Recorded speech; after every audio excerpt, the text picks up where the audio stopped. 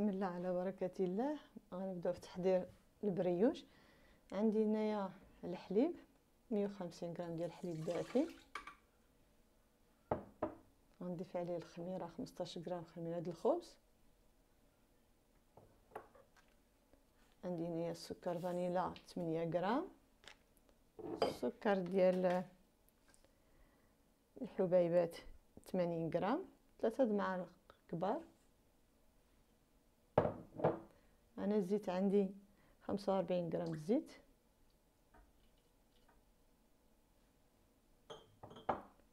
وبيضة كاملة.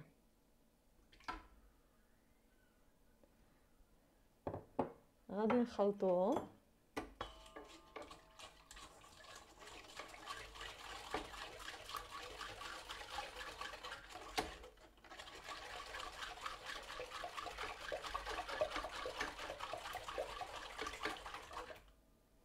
صافي. وغنضيف عليهم الدقيق. عندي هنايا 400 غرام ديال الدقيق. وغناخذ العجانة يعجنوا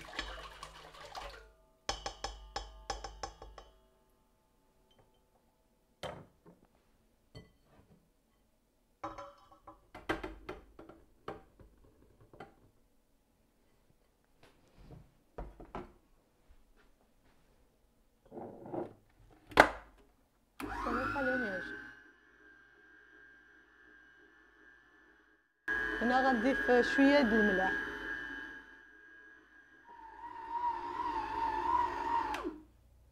صافي. شوية تعجنات عندنا شوية ديال الزيت باش نجمعها باش ما تلصقليش. صافي ونخليوها تخمر. صافي نجمعوها كيفاش كتجي. ونخليوها تخمر تيضاعف الحجم ديالها.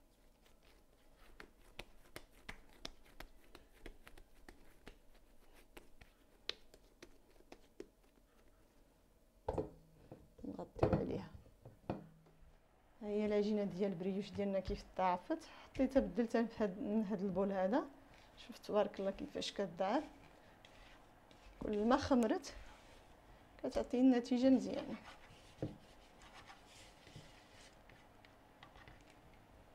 غنجيو نشكلوه.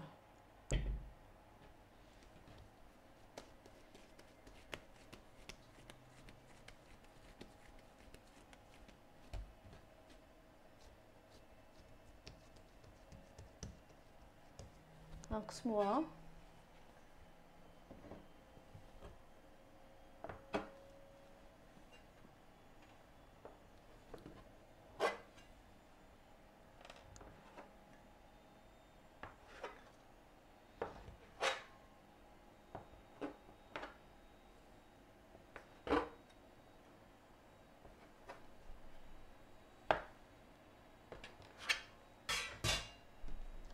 صافي غنشكلهم شكل كويرات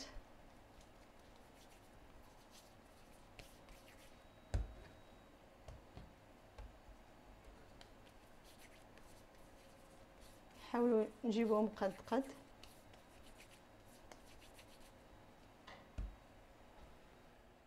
هما شكلتهم. دابا غادي نخليهم يرتاحوا واحد جوج دقائق باش ملي نطلقهم يجوني ساهلين في التطليق ديالهم صافي نخليهم واحد جوج دقائق بعد ما خليتهم يرتاحوا غطيتهم بهاد اللاطة هذه باش ما يمشي القشره صافي باش يجينا ساهله يكونوا كنطلقوهم ما يكونوش عاصيين هادو. وغنطلقوا هادي. نطلقهم. على هاد الشكل هذا.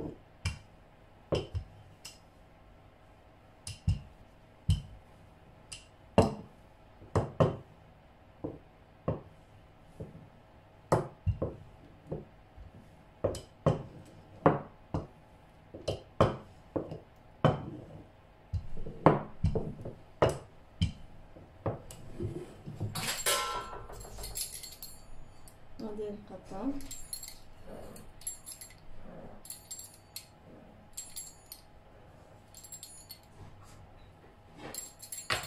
غنلويو على هاد الشكل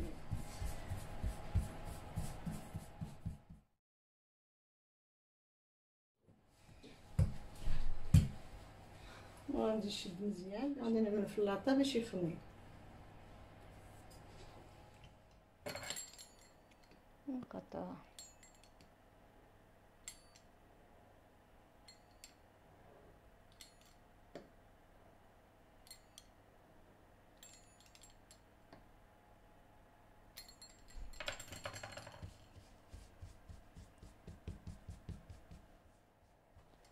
بالنسبة للتقطيع ما كنوصلش حتى الراس.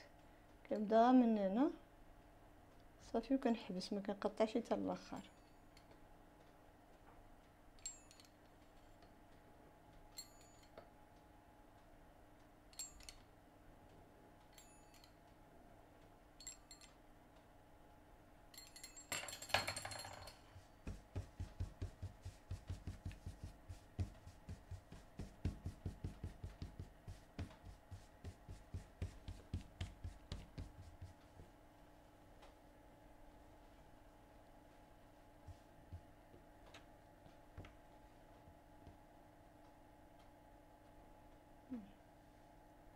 ندخله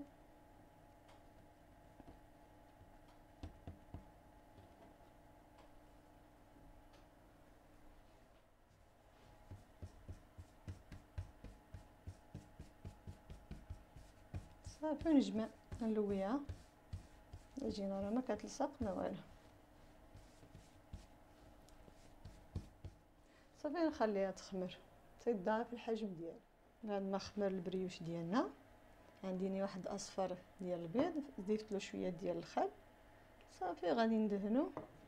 والفران مشعول على 200 درجة.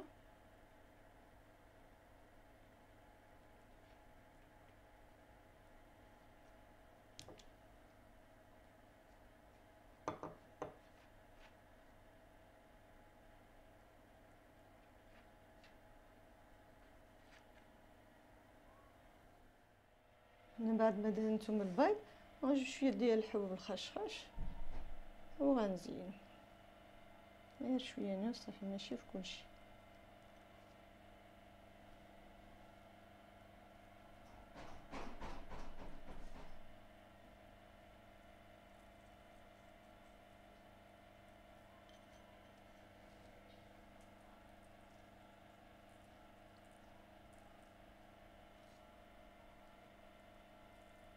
يمكن لكم تعملوا الزنجلان.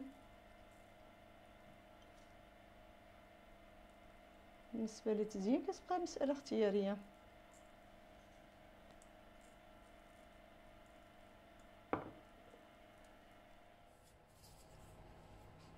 راه كيفاش كيجي البريوش ديالنا؟